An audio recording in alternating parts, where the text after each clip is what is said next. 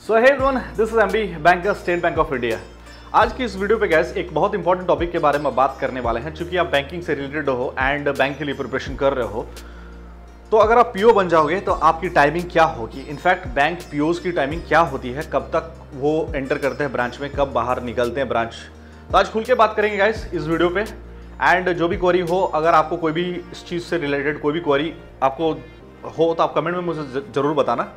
ठीक है तो चलिए शुरू करते हैं। तो एक चीज़ मैं बता दूँ, देखो मोस्ट ऑफ़ द ब्रांचेस में क्या होता है ऑल ओवर इंडिया में, जो पब्लिक आवर्स की टाइमिंग होती है जो पब्लिक आपके बैंक में इंटर करता है ब्रांचेस में आपके इंटर होते हैं, चाहे वो रूरल हो, चाहे वो अर्बन हो अर्बन हो, या फिर सेमी अर्बन अर्बन हो, ठीक है? तो मोस्ट ऑफ़ द ब्रांचेस में क्या होता है, दस से लेकर चार बजे तक पब्लिक आवर्स होता है। कई कई ब्रांचेस में आप ये भी देख सकते हो कि ग्यारह बजे की टाइमिंग होती है, या फिर साढ़े दस बजे की टाइमिंग होती है। तो कंपेरेटिवली वही होता है, अगर ग्यारह बजे की टाइमिंग होगी तो पाँच बजे तक का पब्लिक आवर्स होगा।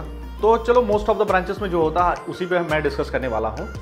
तो 10 से लेकर 4 बजे तक का एक्चुअल टाइम होता है बैंकिंग की। ठीक है? तो क्या 10 बजे आपको जाना है ब्रांच में? नहीं।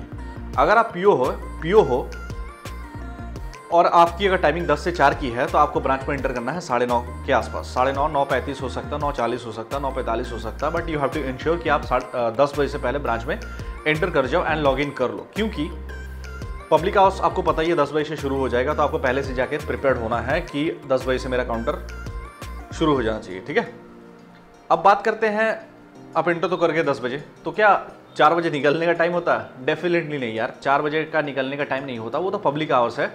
बट एक्चुअल जो टाइमिंग होती है, चार, बहुत सारे जो मेन काम होते हैं आपके, चलो वो तो पब्लिक आवर्स हो गया बट लोन से रिलेटेड काम है म्यूचुअल फंड है, और भी बहुत सारी चीज़ें होती है जो फॉलो अप होता है।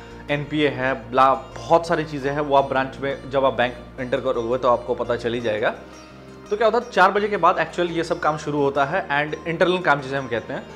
तो ये हो सकता है आप छः बजे ख़त्म कर कर पाओगे, सात बजे ख़त्म कर पाओगे। ये थोड़ा ब्रांच टू ब्रांच वेरी भी करता है, क्योंकि बहुत सारे ब्रांचेस ऐसे होते हैं। मैं आपको बता दूँ branches scale two scale three scale four ऐसे ब्रांचेस होते हैं। स्केल टू में क्या होता है, आपका मैनेजर जो होता है, वो या तो स्केल वन होता है या स्केल टू होता है, ठीक है? स्केल थ्री में क्या होता है कि मैनेजर स्केल थ्री होना चाहिए। स्केल फोर में क्या होता है? मैनेजर स्केल फोर होता है। तो स्केल टू मीन्स छोटा ब्रांच होगा। ऑब्वियसली दो तीन स्टाफ होंगे, इससे ज़्यादा तो होगा नहीं। Scale three three means at least पाँच छः स्टाफ्स तो होंगे वहाँ पे। कई जगह पे और ज़्यादा हो सकता है, आठ, दस भी हो सकते हैं। स्केल फोर मीन्स बड़ा ब्रांच सबसे बड़ा ब्रांच होता है स्केल फोर ब्रांच तो वहाँ पे क्या होता है? दस, पंद्रह स्टाफ्स होते हैं, बीस भी होता है कई जगह। डिपेंड कर डिपेंड करता है गैस कि कैसा एरिया पे वो ब्रांच है, ठीक है? तो अगर स्केल टू ब्रांच है छोटा ब्रांच है वहाँ काम थोड़ा सा कम रहता है एंड स्पेशली uh, जो स्केल टू ब्रांचेस होते हैं रूरल एरियाज़ में ही होते हैं बड़े शहर में आप नहीं देख पाओगे स्केल टू ब्रांच ठीक है? तो वहाँ पे क्या होता है कि साढ़े छः सात बजे तक पीओ uh, या फिर मैनेजर या फिर जो भी है ऑफिसर्स uh, जो भी है वो निकल जाते हैं साढ़े छः सात बजे के आसपास तक ठीक है? स्केल थ्री ब्रांचेस में क्या होता है वो मेनली होते हैं रूरल के थोड़े से डेवलप जगह में या फिर जहाँ पे एरिया जो होता, जो बेस है कस्टमर बेस से ज़्यादा है, वहाँ पे स्केल थ्री ब्रांचेस होते हैं या फिर स्केल फोर ब्रांचेस होते हैं। वहाँ पे क्या होता है, इतना आसान नहीं होता कि आप छः बजे निकल जाओ या साढ़े छः बजे निकल जाओ तो ऑन एन एवरेज आपको सात, साढ़े सात तक रुकना पड़ सकता है। स्केल फोर फोर ब्रांचेस में में भी ऐसा ही होता है। कई जगह पे तो ऐसा भी सुनने को मिलता है कि आठ, साढ़े आठ बज जाते हैं पी को निकलने में ऑफिसर्स को निकलने में either it is scale one और स्केल टू और स्केल थ्री ठीक है तो वेरी करता है तो आप कह सकते हो छः से लेकर आठ बजे तक का टाइमिंग होता है। मेनली निकलने का। एंड कभी कभी ऐसा भी होगा कि बहुत ज़्यादा आपको घर का कुछ काम है या फिर आपको जल्दी जाना है, कोई अर्जेंसी है तो हो सकता है आप साढ़े छः बजे निकल गए, सात बजे निकल गए। कई दिन ऐसा हो सकता है, बहुत ज़्यादा काम है, बहुत वर्कलोड था तो आपको ऐसा भी हो सकता है आठ बजे तक, साढ़े आठ बजे तक रुकना पड़ जाए। ठीक है?